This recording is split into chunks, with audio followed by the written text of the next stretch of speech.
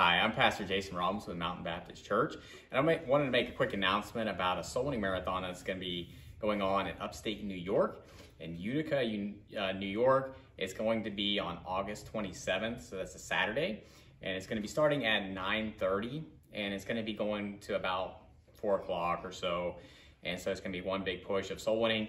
And uh, brother Nick Spina and also brother Chris Murphy is going to be leading up this soul winning marathon. And so I just wanted to make a quick announcement about this. So if you're in the New York area or anywhere close to that, then uh, you can meet up. And uh, brother Chris is going to let you know how you can contact him. He's going to give you his number, and then you can just get a hold of him as far as where the meetup place is going to be at. But uh, hopefully you can make it out to that.